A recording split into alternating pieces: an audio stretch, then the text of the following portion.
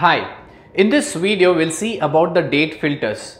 If I have some drawn some graph here in the tableau, if I want to filter it based on the dates, months, years, weeks, quarters, anything, I can use it with the help of date filters. Let us see that. Now first of all what I'll do is I'll try to create a graph here with the help of this row shelf and the column shelf.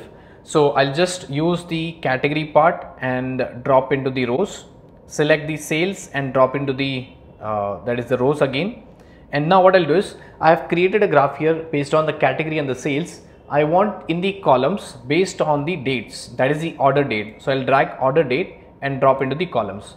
So if you observe here based on the year 2012 to 2017 all the values all the sales it is shown.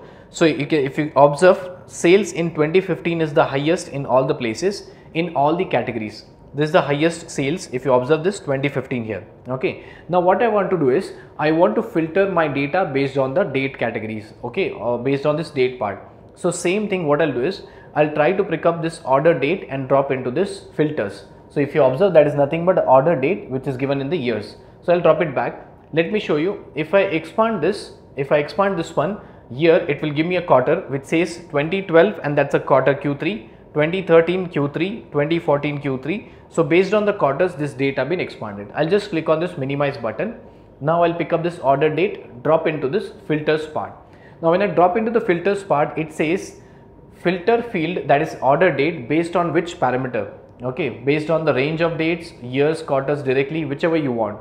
So I'll select as range of dates and click on this next button now if you see that's a filter that is the order date. Now I'll select relative dates. So in the relative dates based on what thing do you want to filter based on years, quarters, months or weeks. Right now I'll select as years. So here if you see here now in the years I have previous year, this year, next year. The day which we are recording is 2017 that's a year 2017 year. Now if I say this year so if you observe this 2017 if I click on apply in this entire graph I'm getting 2017 graph itself if I say next year, since I do not have anything in next year, if I click on apply, it will be empty. If you see, that's totally empty at this place. Now, if I say previous year, that is 2016, if I click on apply and if you observe that is 2016. So, you can filter out your graph based on the dates, that is the years. Now, if I want to see the trend in the last three years, I can just select this option, three years. If you want, you can increase 4, 5, 6, 7, 8, 9, whatever you want. So, right now I'll select as only 4 years, okay and I'll click on apply. Alright, so if you observe here 2014, 2015, 2016, 17, that is the last 4 years you're counting, including the year which you're into this. Same way, if I say for next 3 years, since I do not have any 3 years next one, I have only 2017, so I'll get only 1 year. So if I select uh, last 2 years, if I click on apply and if you see last 2 years will be visible here, okay. So I'll click on this cancel button. Now it has been filtered based on the year. If you do not want a filter at any point of time, you can just simply drag and drop it outside. So it will go. Now, now you can see there's no filter applied here. Now let's see if you want to filter out based on the months same method. I'll just pick up this order date and drop into the filters and I'll select range of dates click on this next. I'll select as relative dates select as quarter. Let's see about the quarters first.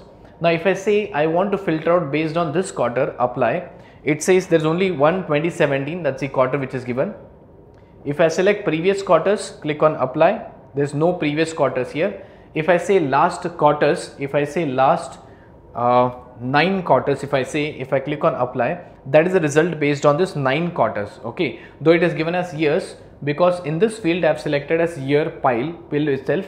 So if I say I want in the quarters part, you have to just maximize this area itself. And that, that's it. So you can work with the quarters. Same applies for the months if you want to see for the last 9 months if you click on apply okay and if you see that's 2017 if I say if I want to go for last 15 months click on apply. So last 15 months will count both the years 2016 2017 same applies for weeks and days. So remember whatever is the start date and the end date you can observe from this area itself right?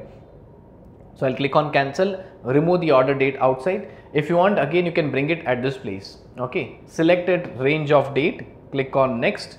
Now here it comes. After I select relative dates if I want that is a range of dates. The starting date and ending date I can type here as starting date. I can type here as ending date. So if I click on this place okay if I select if I put a backspace here if I say 05 05 2014 that's uh, my start date. And if you observe when I select 0505 the cursor has been moved from this place to this place.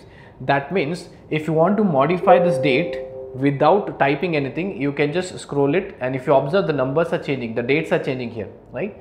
Same way at this end date if you want to modify you can just simply select this date. Okay I'll just select this date from here.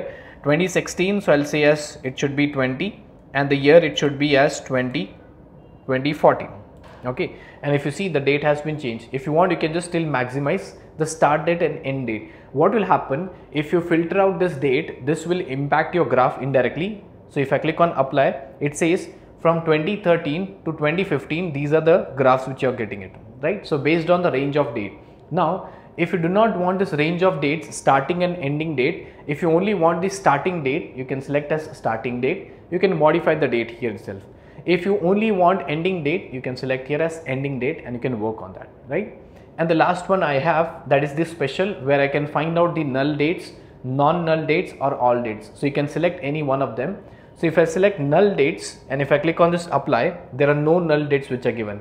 If I say as all dates and if I click on this apply so this will show me all the dates whichever are present at my place. So I'll just click on this OK button right so I hope you have understood how to work with the filters and that too with the date filters. That's all for this video